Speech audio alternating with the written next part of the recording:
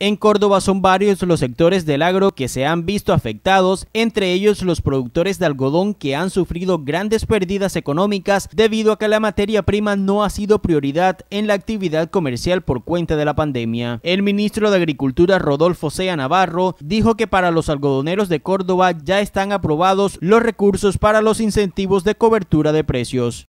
Bueno, con los algodoneros eh, hay dificultades, eh, venimos o en una pandemia donde se ha disminuido la actividad comercial de venta de ropa y de este tipo de cosas y la materia prima del algodón también se ve eh, impactada. Por eso estamos haciendo un programa con los algodoneros de coberturas de precio y ellos nos han pedido también que les ayudemos con un incentivo al almacenamiento.